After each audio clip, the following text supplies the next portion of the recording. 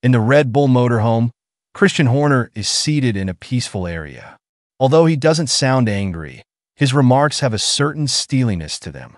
He claims he won't forget. He will never forget how some of his Formula One competitors repeatedly kicked him when he was on the ground. Nor will he forget those who supported him.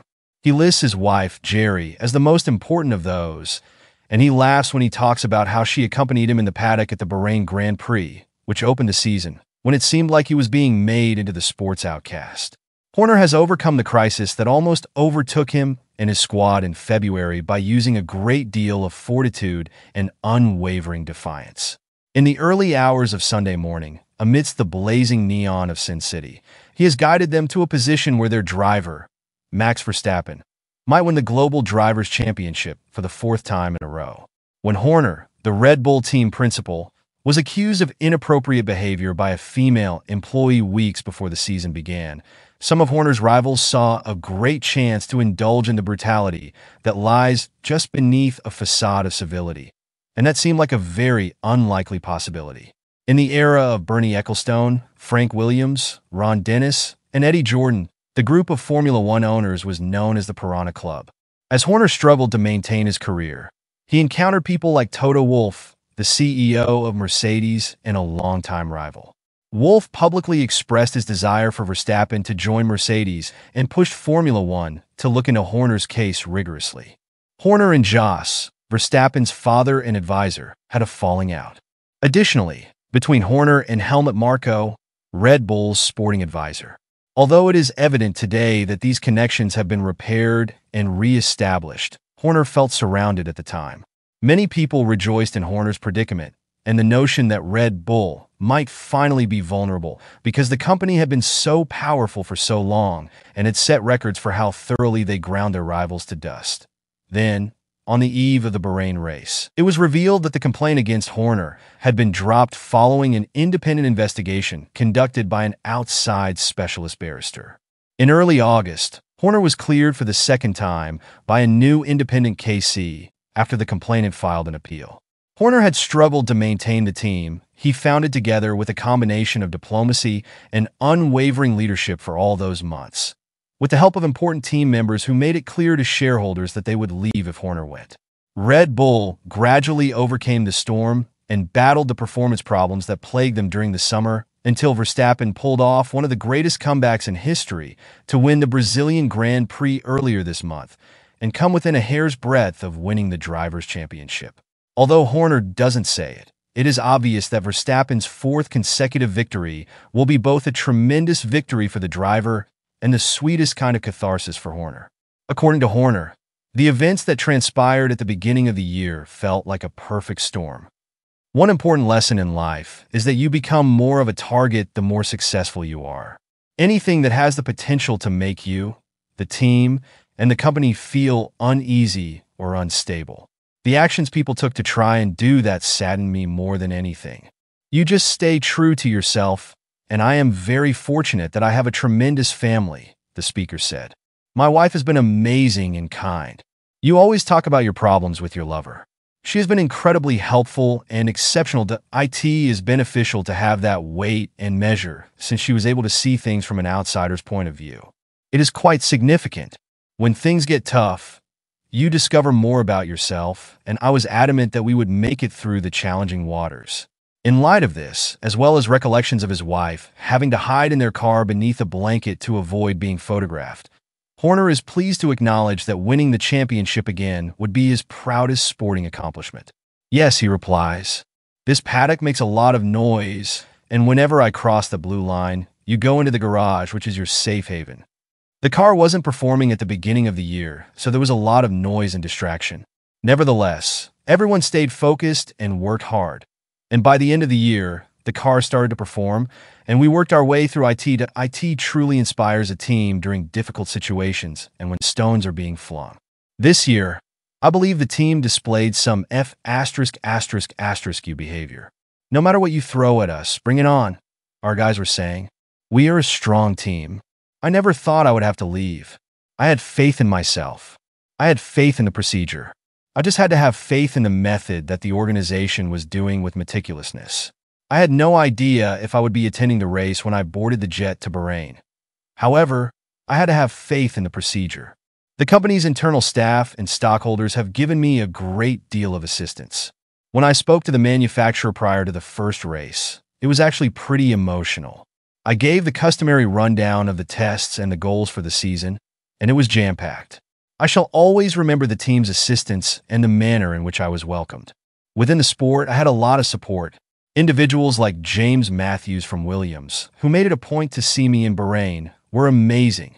Despite several difficult situations where the vehicle has not gone as planned, the team's performance this year has been exceptional. As of right now, we are the only team with eight Grand Prix victories. We're almost ready to take home a Drivers' World Championship. Hopefully that we haven't given up on the Constructors' title, but defending it will be an enormous task. In what has undoubtedly been the most difficult year of my life and career, both emotionally and professionally, if we are able to overcome it, it is the best response to all of the doubters. Our team has never been stronger. We have some amazing partners. Our shareholders have been amazing, and we are still winning in present. Every team undergoes constant change. So while we will be sad to see the pair departing, it is necessary for us to keep growing as a group and as a company.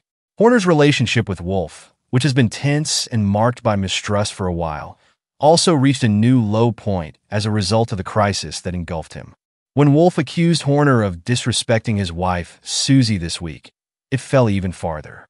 Following an anonymous claim that her role as head of the F1 Academy, the all-female series owned and operated by the sports owners, Liberty Media, could be interpreted as a conflict of interest due to information she could share with her husband, Susie Wolff was the focus of a brief and extremely contentious investigation late last year.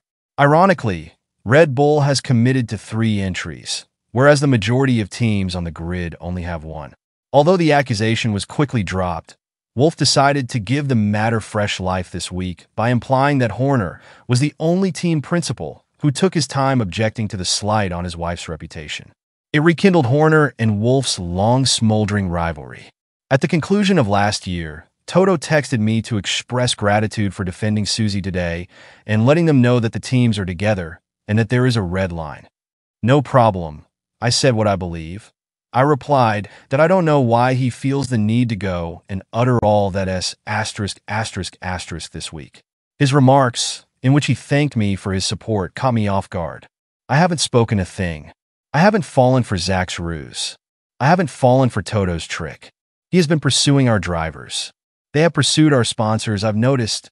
I simply thought, leave them to do it, instead of worrying about me.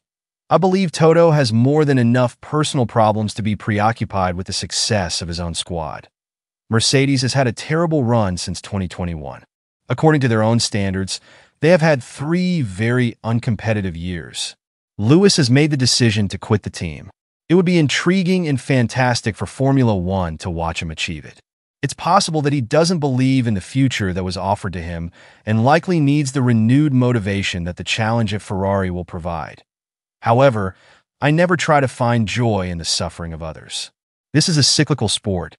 With the exception of one year, in 2015, we continued to outperform our competitors and win races even after we stopped having a competitive engine after 2013.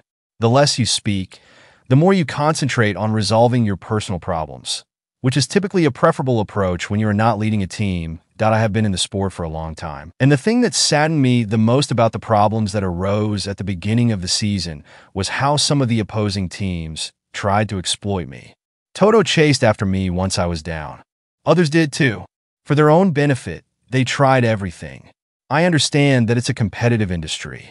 A month prior, Toto had lost his driver to Ferrari, and he was telling everyone that this was not the case. It appeared that he was the last to learn about it. People make use of whatever available tools.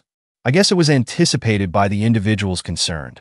Horner also acknowledges the role Verstappen played in keeping the squad cohesive and concentrated on winning a fourth straight championship despite a fierce threat from McLaren's Lando Norris, which was ultimately put out by Verstappen's performance at Interlagos.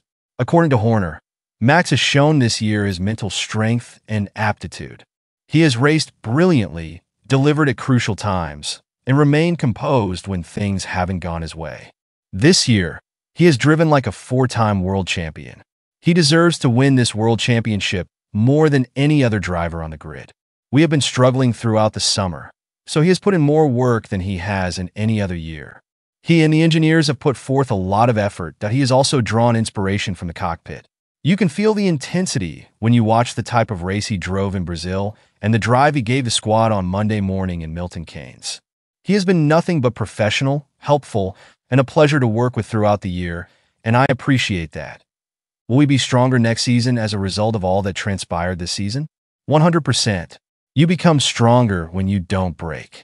We will undoubtedly come out of 2024 as a stronger team, more focused and determined than before.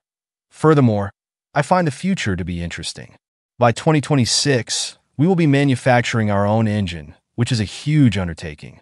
We will prosper because of the exceptional dedication and enthusiasm in the company. Max will be present. He has faith in others around him. He has faith in others around him. He's winning. He is doing well, and we must continue to provide a vehicle that is commensurate with his abilities, which I am sure we can accomplish. Look, this year, I've just kept my head down and worked hard. If we take home the trophy at the end of the year, we will have performed under extreme pressure and scrutiny. Let them throw their stones and do your job. However, I will always be proud of what we have accomplished as a team despite all the obstacles.